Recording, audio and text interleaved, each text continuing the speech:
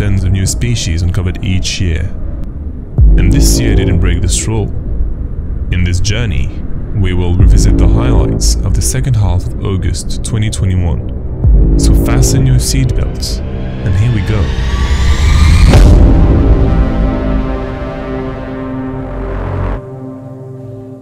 For this first stop, we go 71 million years in the past to meet a very distinctive and iconic dinosaur, Carnotaurus, but more precisely Carnotaurus sastrei.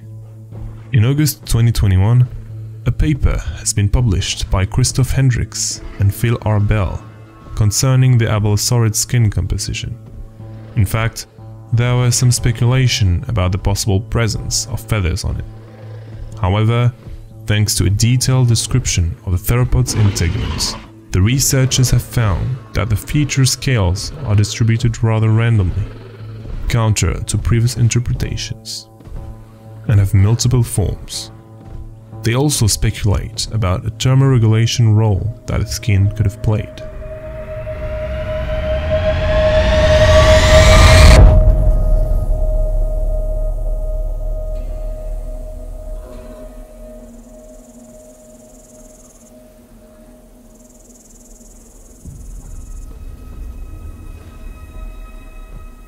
We are here to meet a member the species of which has been described an exceptionally well-preserved specimen. And it isn't a dinosaur. No, it's a pterosaur, and not a big one. Tupandactylus is its name.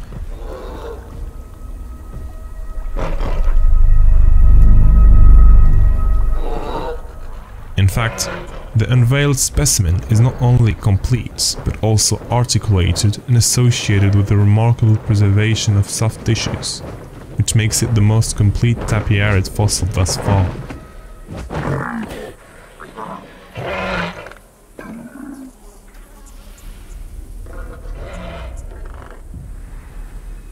It is regarded as an adult, which helps classifying it as exactly a Tupa navigans, due to its vertical suprapremaxillary bony process and rounded parietal crest. This crest, like for most other pterosaurs, serves as a sexual display to attract females. These individuals are enjoying the fresh water as much as they can, until their next migration. They live amongst giant spinosaurids called irritators, piscivorous dinosaurs. These lands should soon find their usual greenness. By the way, this specimen has been found during the police raid after an investigation of the illegal fossil trade. We can't stay here for too long, so let's now take our flight to the late Cretaceous and explore new horizons in a different environment.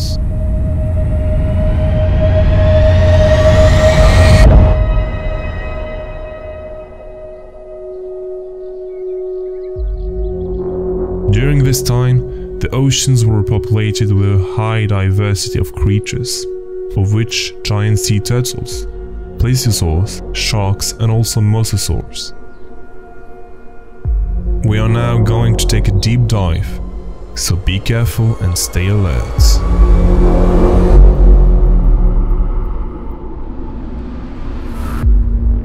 Researchers at the University of Cincinnati identified a new species of Mosasaurus. The finder, a professor and his students, have named it Mosasaurus everhartorum. The marine reptile lived in what is today western Kansas, but back then was the Western Interior Seaway, a vast expanse of water splitting North America in half during the middle and end of the Cretaceous. The newly discovered species marks only the second species in its genus, Ectenosaurus. At first, the fossilized jaw has been suspected of belonging to a Platecarpus, but a mix of intuition and further research allowed the professor to find that in fact it was another species, a new one.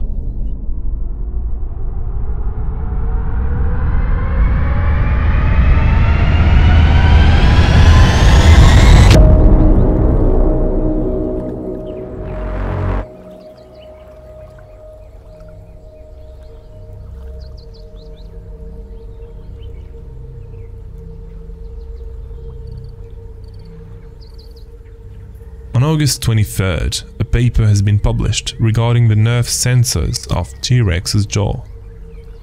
The study concluded that quote-unquote, the nerves in the mandible of Tyrannosaurus rex is more complexly distributed than those of any other dinosaur studied to date, and comparable to those of modern-day crocodiles and tactile foraging birds, which have extremely keen senses. These nervous sensors probably served to detect different organs of their prey, letting them rather delicately pick specific ones.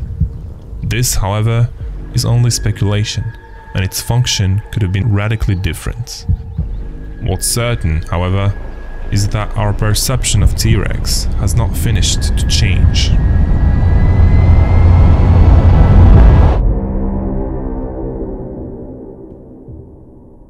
To end this journey, let's mention a paper published in the Canadian Journal of Earth Sciences regarding an anatomical comparison made between two brain cases of Daspletosaurus.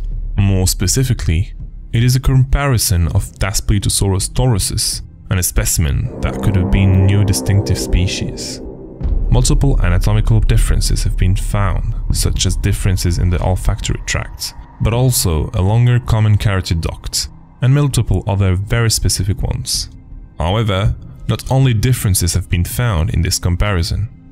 In fact, some characteristics could actually prove the unicity of the two specimens under a single species. Furthermore, we know that such changes could be attributed to a difference in age. In conclusion, more similar comparisons have to be made to comfort the idea of such an anatomical diversity within the Tyrannosauridae family. Thank you for following me in this journey, and thanks to Edge for the invitation. It has truly been a pleasure for me to participate in this year's Rewind. Stay tuned for the future uploads of the other participants, and see you soon I hope on my channel for future projects like this.